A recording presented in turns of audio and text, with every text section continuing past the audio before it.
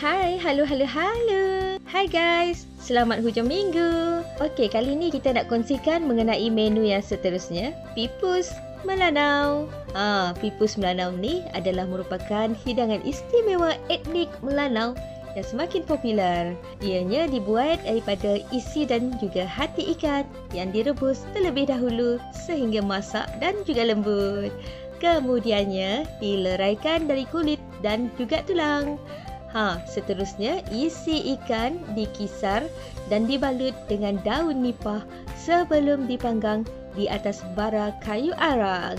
Okey, itu saja perkongsian kita untuk minggu ini dalam Makan Makan. Jumpa lagi minggu depan bersama dengan Rinas Merpati. Cantik. Jika mahu memasak rendang, bahan yang mana anda akan masukkan? Santan segar atau santan kotak?